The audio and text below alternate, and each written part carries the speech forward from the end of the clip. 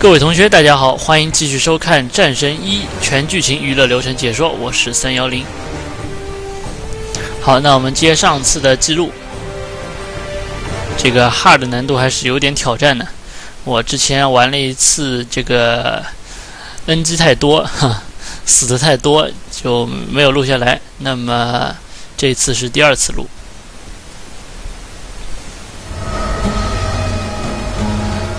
然后接紧接上次的这个船，摇完这个船以后呢，就是到了雅典的港口。那这个船我们以后是回不来了，所以说宝箱就不用太吝啬，就去开掉好了。好，这里写着这个雅典的城门，我们到了雅典城门口。然后这边雅典娜的雕雕像可以调查一下。他说：“这个把艾瑞斯干掉，那么神就会原谅你以前的那些罪过。那至于是什么罪过呢？我们随着剧情慢慢深入。好，这里出现一种这个敌人呢，和船上的碰到那些不太一样。这种敌人是不能直接用投掷的，但是空中的话是可以直接用投”就像这样无限连，哎，等到它出来这个圆圈的标志以后呢，就可以像船上的那些人一样，抓住它以后三种选择：要么扔掉，要么拆开，要么按在地上揍一顿。好，这边都出这个圆圈了。这个圆圈如果你不跟上去这个连的话，不跟不跟上去直接用投技的话是会消失的。也就是说，杂兵他血会稍稍回一点。然后你再打他几下，他又会马上出现这个圆圈的提示。这些敌人呢，就是用轻攻击攻击，他们是不太会有硬直的。所以说，打这边的时候要时刻注意周围的人。哎，比如说刚才这样，差一点就被砍到，哎，这下就被结实的砍了一下。哎，又被砍了。哎，抓不抓到？好像抓不到。抓这种杂兵的话，用这个浮空连续浮空是比较好用的，打起来也比较安全。好抓，哎，大家看这个圆圈马上就消失了，就不能抓了。好，打他几下呢，就又能抓了。哎，那边有几颗红魂。不过我这个想想算了，放弃。红魂如果离你这个比较近呢，它就会自动吸过来；那离得远的话就不会自动吸过来了。这里有三个杂兵，还是这种敌人。不过在这个矮小的走廊里面用这个连续浮空的战术不是很奏效，主要是跳不高。打的时候要经常注意防御。这种跳起来的这个砍呢，一般会有蓝色的这个刀光。哎，他刚才用的那招转刀的这个非常非常恶心。他这招呢是之前的硬直比较小，而且不太容易看出来。像这个跳起来砍的话，基本上是能够轻松防御住的。他那个转刀的话，发招比较突然，所以经常会看不清。好，有一些杀掉呢是会出绿魂的。可以稍稍补给一下。那这边过来呢，有这样一个宝箱，打开以后是拿到一根凤凰羽毛，拿到这个六根呢，凤凰羽毛呢就可以增加一次这个魔法槽的上限，也就是蓝蓝的那条。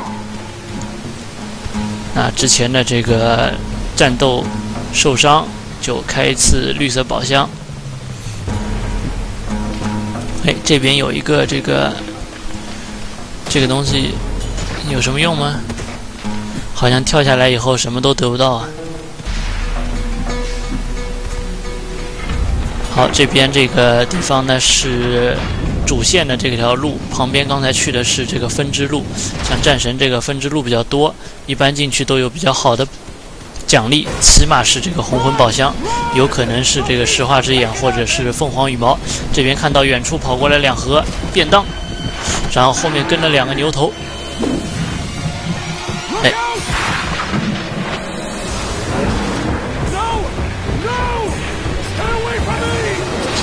这个当然也无法幸免了。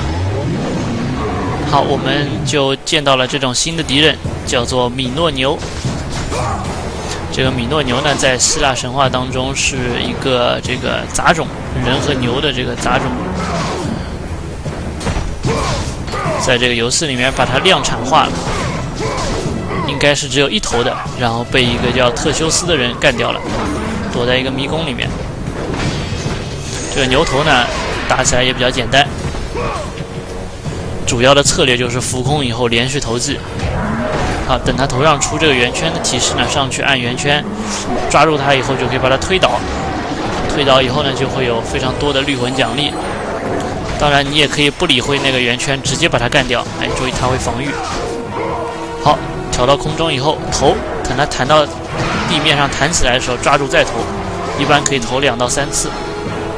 那如果说，哎，就像这样打。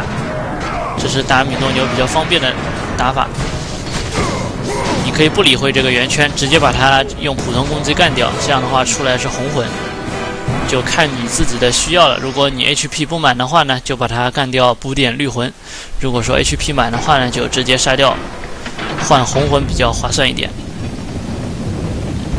所以说这个米诺牛基本上是这个移动的血瓶啊。我非常喜欢。好，这边又有这个两个杂兵，他们说这个艾瑞斯带来了一些怪物，然后把雅典城市陷落了，然后他们也无一例外的领到了便当。反正看到奎爷的人 都得去见哈迪斯。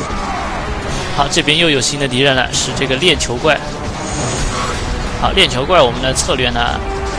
就是用五下方的这招，然后最后接三角，前面呢都挥空，以防这个怪物被打到以后他会出招。前面离远一点挥空，然后让最后那一下挥到他，这个最后一下攻击力是非常高的。好，当心他这个链球攻击呢是多段判定的，一旦被打到会少很多血。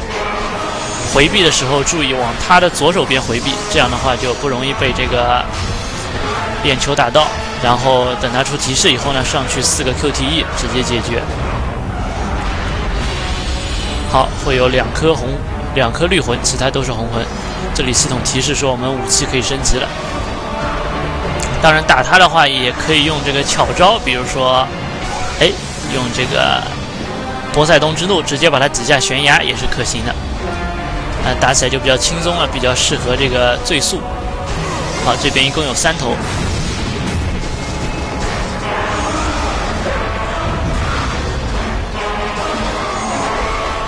最后那下没出，就这下，这下攻击力非常高。等到武器升级到高等级以后，那招就可以比较快的打出来。现在前面要打这么多废招，最后才能打出这一下。好，很快就出骑士了，上去先打他蛋蛋，再爆他菊花，然后头上插两下。那三个人都干掉以后呢，这边结界就打开了。打开以后，我们去这个角落，角落有一个红色的宝箱。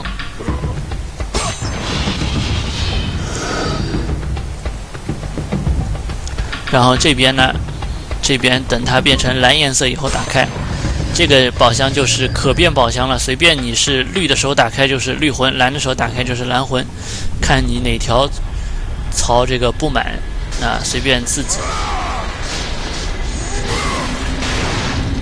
好，这边呢，先把两个这个桩子下面的木箱子给打掉，就可以打开这个取下一个场景的道路。那我们在这个跳过去，先从这个矮的开始跳。好，这边呢，右边有一个高的，这个地方场景不是白做的，是有一个隐藏的一个凹口，里面主要是这个。这个箱子是一个石化之眼，左边那个蓝魂箱子是浮云，刚刚补过。好，这边这个箱子打开呢，是这个一堆红魂。好，梯子呢一开始可以用二段跳，这样可以节省一点时间。爬梯子动作非常慢，而且不能加速。然后走到尽头呢，好，这个是反力，大家看，这个是反力，不用跳的。我也是长久不玩，忘记掉了。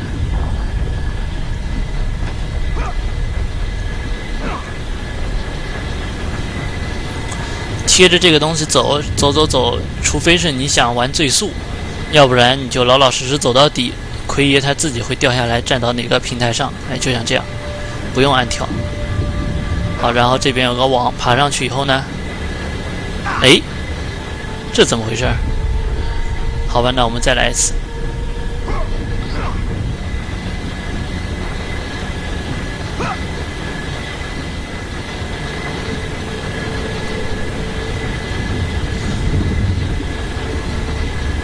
这个地方走过来以后，不要按跳，让奎爷自己下来。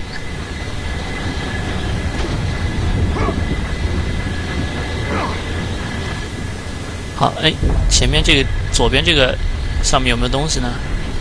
啊，我猜是没有东西。那我们先走。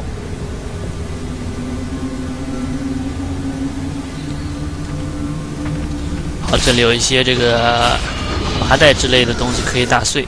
都是红魂，然后可以看到有一个宝箱，是可变的那种。到这里过来对话，就发生剧情。这个女的是谁呢？是阿弗罗狄特，就是希腊神话当中爱神和美神。啊，美神也就长成这样了。他说：“这个你现在能力呢，打这个艾瑞斯还不行。”我再给你一种能力，能够让敌人能够石化敌人，但是你必须先要挑战这个怪物。啊，这个怪物大家都认识，叫做美杜莎。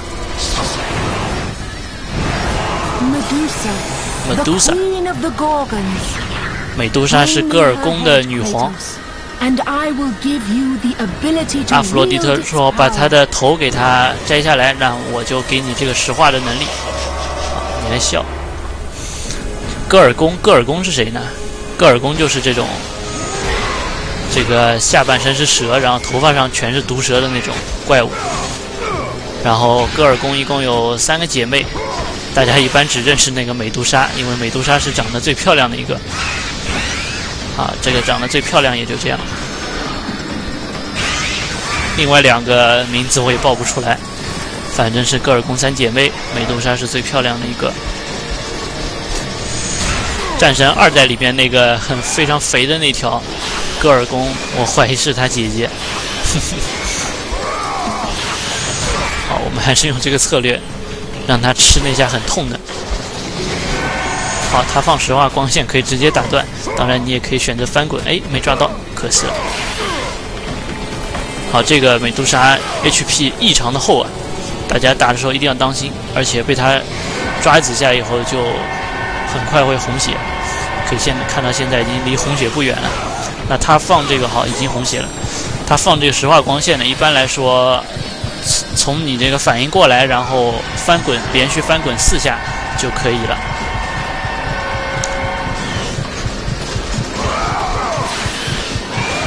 当心！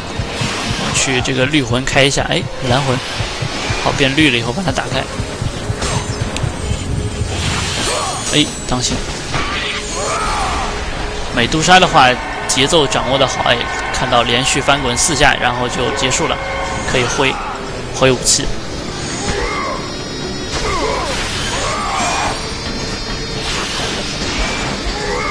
再给他来一下，哎，好像躲开了。这美杜莎一旦闪避你的攻击，它是必定会反击的，所以说赶紧翻滚躲避，或者是防御。哎，他刚才那下跑过来捞一下的那下是出招比较快，威胁比较大。他甩尾巴的那招之前一般会有一个这个前兆。好，总算是出骑士了。这次 QTE 呢是左摇杆的 QTE，让你怎么转呢就怎么转。这个我们在船上也练过了，对吧？好，这里就得到了美杜莎的凝视。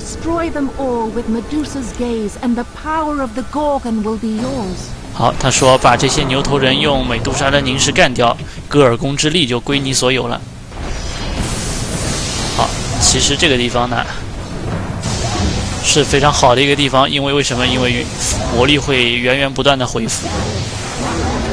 然后你当然不用这个戈尔贡之力也行，不用美杜莎的凝视，直接用海皇波塞冬、波塞冬之怒，这个可以赚到不少红魂和连击数，因为这个牛头人也是不断刷的。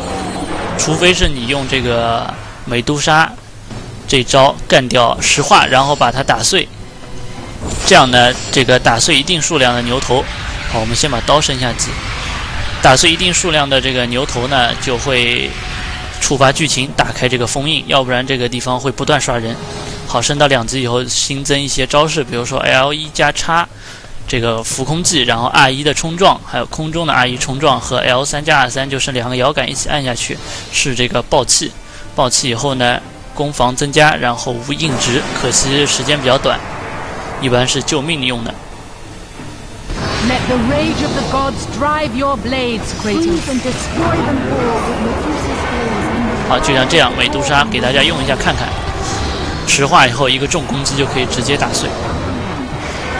哎，是方法是按住 L 二，它会自动锁定最近的敌人，然后按住方就会发射这个射线，然后敌人被冻住以后上去打碎。越脆的那个越是。小型的敌人越容易打碎，这个越是大型的敌人越难石化，也越难打碎。好，这个波塞冬之怒可以随便用，非常爽。大家想赚这个两百连击的那个奖杯的话，可以在这里尝试。好，这里呢，我们这个玩一个邪道玩法。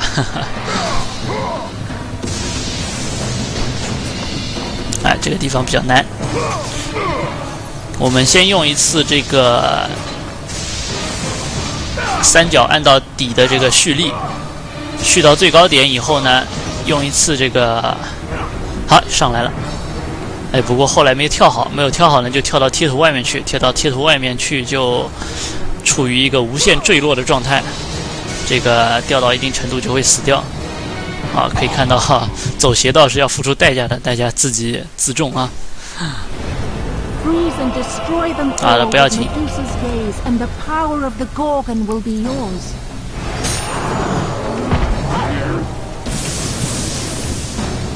切换成这个波塞冬之怒，先干掉一头牛，这个回点 HP。我之前上次录的呢是打开了三个奖杯，一个是两百连击的那个奖杯，就是在这儿完成的，然后。还拿到一个美杜莎的凝视，这个拿到以后是有一个奖杯的。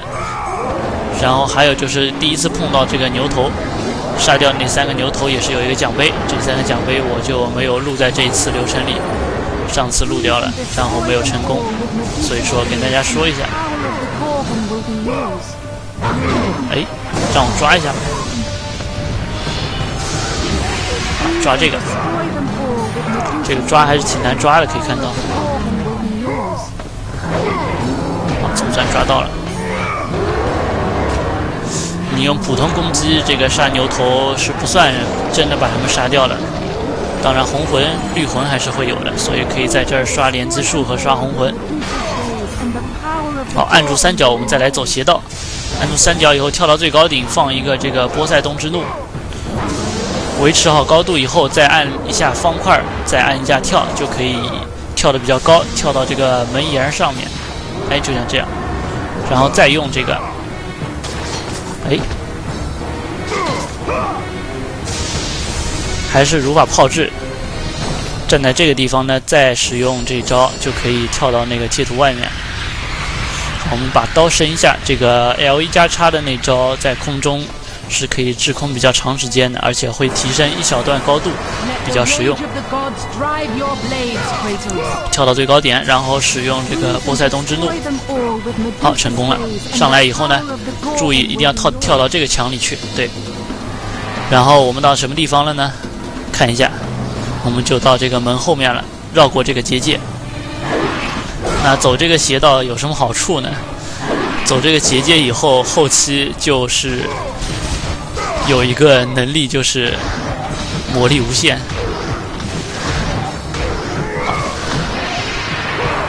当然，这个魔力无限我也不会一路用这个波塞冬之怒打过去，那就没什么意思了，对吧？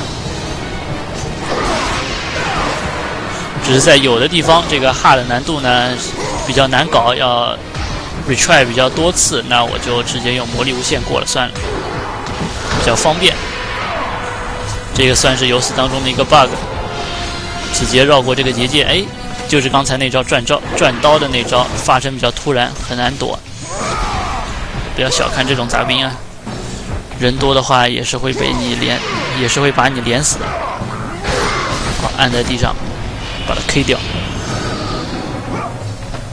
好，可以看到刚才这个横梁上呢有一个红魂宝箱，那怎么拿到呢？正常情况下是从这边，然后沿着左侧跳过去，然后接一个 R 一，对，跳到刚才那个窗口的地方。但是我好像操作失误了一下，忘记按 R 一了。那我们不要紧，可以用这个斜道，直接上来。好，先开这个宝箱。然后再跳到那个窗口的那个平台，再开这个宝箱。正常流程应该是在二楼跳到这个地方，先开这个，然后跳到刚才那个地方。那拿到这两个宝箱呢，就走路上去以后，这边有一个这个存档点，然后有一个绿魂宝箱，有一个弓弩车，有一个机关。我们先不要去转那个机关，直接弓弩车这个给它来一箭，就可以把右边的这个墙壁打碎，露出两个红色的宝箱，然后这边掰一下这个开关，让弓弩车转九十度，继续再射一箭，这个箭是会不断回的，大家不要担心箭用光，然后再拉一下，可以看到正前方呢这个。有一个铁门，所以说木桩子穿不过去。好，左边这个墙也是可以破坏的。好，打开了，里面有一个宝箱。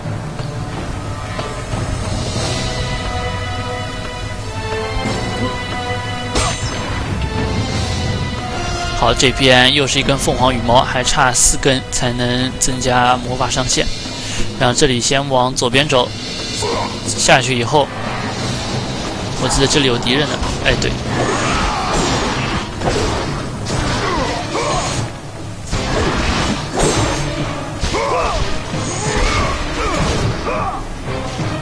哎，抓不到。回来以后调整一下。单个敌人呢可以用这个无限浮空，以后给大家演示。那多个敌人的话就用空中连续投掷，这样比较安全一点。而且攻击力投掷的攻击力也是不俗的。这边有个宝箱，打开以后呢是一个戈尔宫之眼，也就是石化之眼，还差两个就可以增加 HP 上限了。好，把这个门打开。这个门呢打开以后就是之前的前广场，就是杀那个链球怪的地方。不过为什么要来这个地方呢？这个门打开以后是会用得着的，一会儿大家就知道了。那。爬梯子上来，这次去右边，也是爬梯子上去。上去以后呢，这个地方会刷人，会刷很多人，可以把他们全部干掉以后再前进。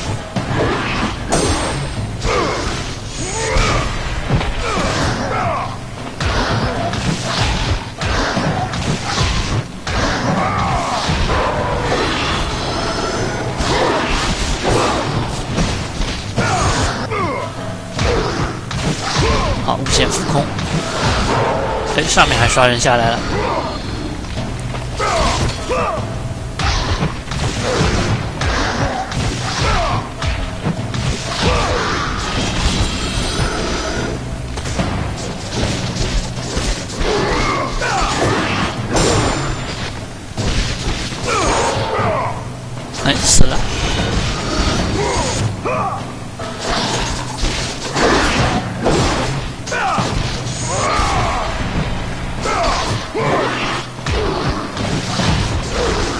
这个就是 L 一加叉的这个空中攻击技，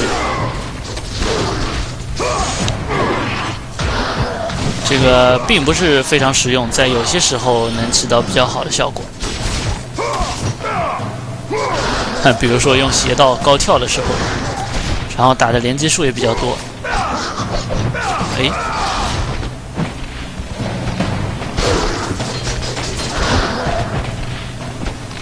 这人好硬啊！死了。那这个时候爬墙上去，然后先爬到左边这个平台上，然后跳到屋顶上。那么从这里呢，就可以到那个刚才打开的那两个红魂的地方。好，打开这辆红魂宝箱，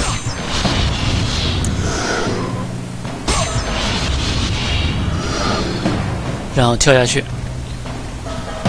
跳下去呢，刚才打开的这个门就派上用场了，用不着绕一大圈回去。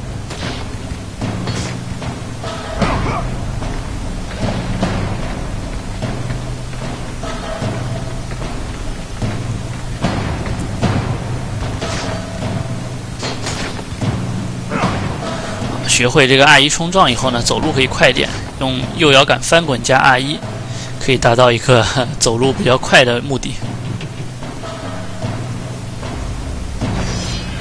好，这个地方攀爬需要跳过去，然后这边会刷人。好，这个地方万要是被敌人打的掉下去的话，是会直接摔死的。好，这帮敌人哎危险。那顺利到这个地方。就一直爬下去，爬下去好像没有什么办法能加速，只能往上跳或者往左右跳，不能往下跳，这比较失败。哎，抓不到，抓一个。这个不要贪多，砸一下就该。他这个抱在你身上呢，要狂推左摇杆，把它挣脱，要不然你会被他缠着一起下去的。这个茫茫多的杂兵啊，跟着我一起爬，嚯！非常壮观，非常壮观。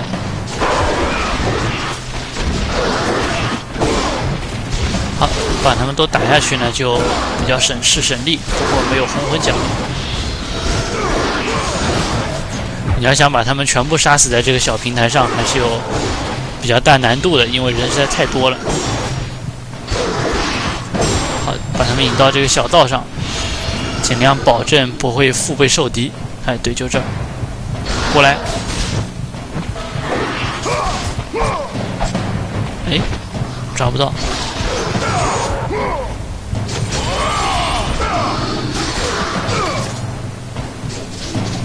还有人吗？好，没有人了。我们来推这个石像，又是非常恶心的这个 R 石像。R 机关这个是最恶心的。哎，推不动。这个 R 要点的非常快，这个东西呢，我建议大家不要用那个中指按了，把这个手柄啊竖起来，然后放在大腿上，然后用这个食指来按，就像以往按其他键的那个按键方式一样，这样会按的比较快。如果你这个老老实实用中指按的话，可能会来不及。而且它不但是要按的快，而且要按一段时间。要持续一段时间，这个对于按的手会非常累的。啊，总算成功了。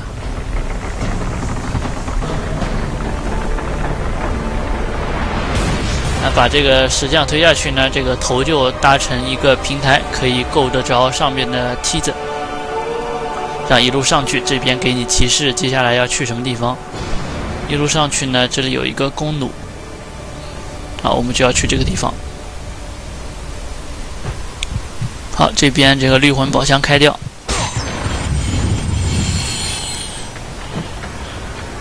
然后这个梯子是半截的，直接跳下去就可以。好，到这个脑袋地方，这边会杀出这个两条还是三条的这个美杜莎，不过要比上次打的那个美杜莎轻松多了，因为上次那个是 HP 加厚型的。好这个石化光线还是要躲一下的。投技，好，这个他放石化光线不要紧，我们这个扛住，在使用投技的时候是无敌的，所以说不用怕那个石化光线。这边把美杜莎用这个投技干掉呢，是出蓝魂，而且可以看到非常多。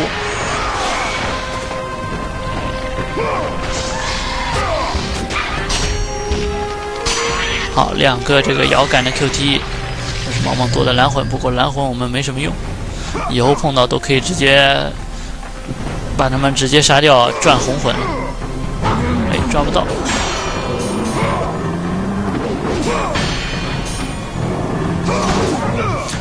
这个米诺牛呢有两种，一种是拿这个斧子的，就像这个；后面还有一种是拿锤子的。拿锤子的话比较恶心一点，因为它那个锤子砸下来的冲击波是不能防御的。好，出红魂了，我们把它干掉，赚一点绿魂。啊，关于这个邪道玩法的事情，好，大家可以留言里面说一下。要是大家不喜欢这种蓝魂无限的邪道玩法，那咱就换一个，重新录一下。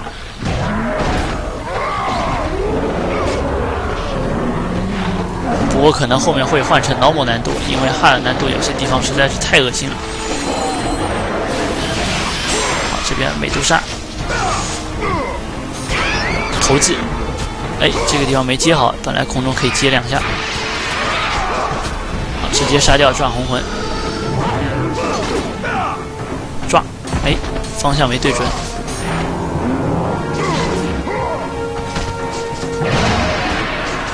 直接摔死。然后这边这个一直在掉黄沙的这个柱子是可以打碎的，那边那根也是。好，这样就搭成一个可以跳上去的台子。跳上去以后，这里有非常多的杂兵，同样可以用这个波塞冬之怒赚一点连击数。啊，我这里就不演示了。在人多的地方，一百零三连击可以看到非常高。在围攻的时候，千万要用波塞冬之怒解围。这地方还是挺有挑战的。大家如果打不过，可以爆气。当然，简单啊，普通难度是没什么问题的。这个 hard 难度有时候不当心会不知不觉就空血。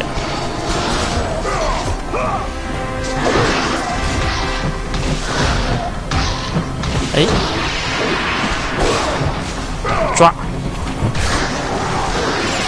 好，继续。然后这边清干净以后呢，上来推这个拉这个公路车，然后会射过去一根绳索，那我们就通过这个绳索爬过去，在它下面二段跳，一段跳就可以了。然后又会刷人，这边这个绳索上的战斗呢，要速战速决，直接控制好，看准距离，这个直接按圆把它拧下去。然后后面的敌人千万别去管，要不然这个会被夹击，然后很非常痛苦，用不出这个投技。哎，你每次刚夹着敌人脑袋了，后面的人给你来一下，所以说千万不要管后面的人，就一路往前。他们正常情况下，后面那个人是永远挥不到你的。可以看到非常二，他每次都在没够着你的地方就挥刀了，哎，被打了一下，不要紧。然后杀掉这些人呢，都是有绿魂奖励的。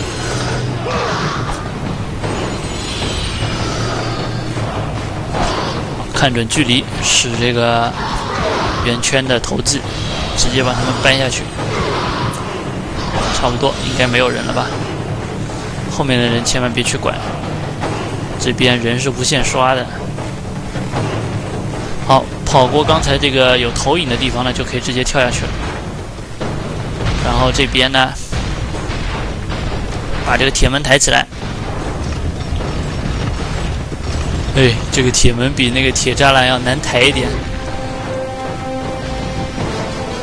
好，然后这边用右摇杆加 R 一的这个相互取消，走路快点。回到这个弓箭车的地方，带一下摇杆，把这个弓箭车再对回到那个正前方的位置，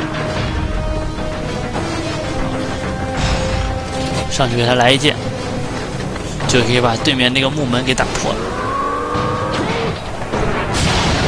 好，出来这个牛，牛呢有无限魔人，哈，有无限魔人，无限魔力，无限魔力的话可以直接上去美杜莎全部石化掉。然后全部干掉，非常轻松。当然，如果说你想打的怂一点呢，就在这儿用弓箭车一个一个全部干掉。这样打的坏处，这样打的好处是比较安全，坏处就是会损失掉两个牛头的红魂。